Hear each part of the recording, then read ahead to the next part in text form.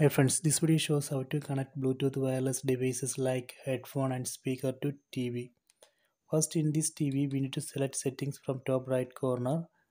Then go down and select remotes and accessories. Then select add accessory. Now it's searching for accessories. Here I am using this Bluetooth wireless headphone. Let me turn on this headphone and put it in the pairing mode you can see the light here it's on and in the pairing mode. So please wait.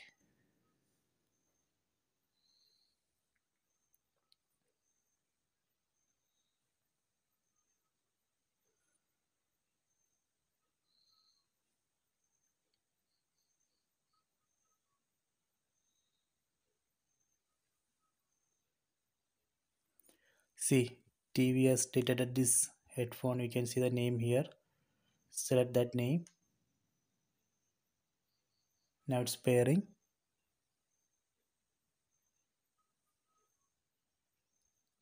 Then select pair here.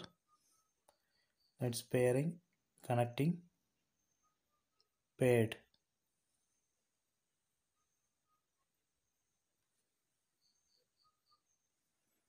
So here you can see the added headphone similarly we can connect any bluetooth wireless device to this tv if you want to unpair this connected headphone you can select it then select unpair then select ok. Okay done. So that headphone has been removed from this android tv okay so please try this